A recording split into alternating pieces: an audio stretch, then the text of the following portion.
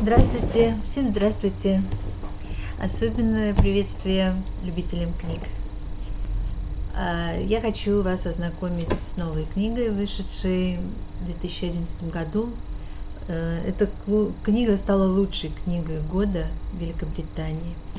Она стала лауреатом самой престижной литературной премии Великобритании Карнеги Медаль 2011 года. Э, писатель Патрик Несс. Э, книга называется «Поступ Хауса». Э, здесь можно прочитать некоторые рецензии. Вот, например, как пишет газета «Санди Телеграф». Потрясающе динамичная, душераздирающая, невероятно воодушевляющая книга, которая заставит ваше сердце биться чаще. Эта книга, кстати, можете посмотреть на обложку. И вот такой э, кратенький анонс. Тот Хьюит, последний мальчик в Прентистауне. Но Прентистаун не похож на другие, другие города. В нем каждый может слышать мысли друг друга в непреодолимом, невыносимом, никогда не прекращающемся шуме. В этом угнетающем хаосе слов, образов и мыслей нет уединения, нет никаких секретов. Или есть? Всего за месяц до своего дня рождения, дня, когда он станет мужчиной, тот неожиданно обнаруживает дыру в этом шуме, место, где есть абсолютная тишина.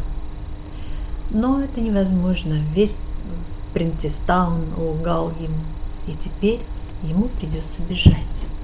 В общем, это книга о том, что телепатия – это вирус, и когда он спалит мозги целых народов – то невозможно будет скрыть ни одной мысли.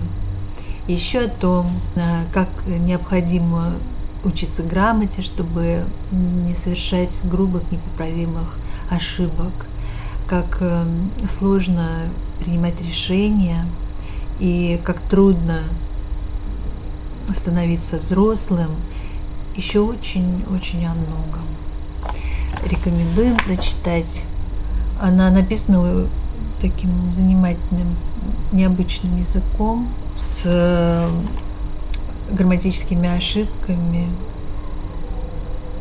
Почему-то посчитали, что они добавляют, наверное, какой-то э, к образу этого мальчика малограмотного, его реальное состояние на тот момент, о котором идет речь.